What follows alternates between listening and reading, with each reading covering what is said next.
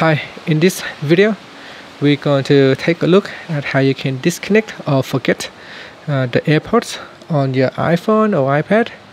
So if you want to uh, connect the AirPods with another device, sometimes you might need to uh, disconnect it. So to do so, uh, first let's go back to your home screen by swiping up at the bottom of the screen. Then tap on settings.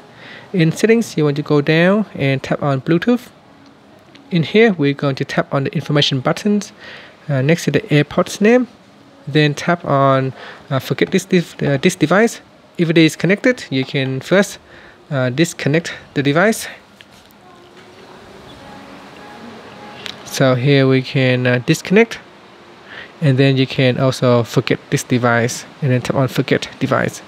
And then tap on forget device and that's it. Finally it will be removed from your iPhone or iPad Thank you for watching this video. Please subscribe to my channel for more videos.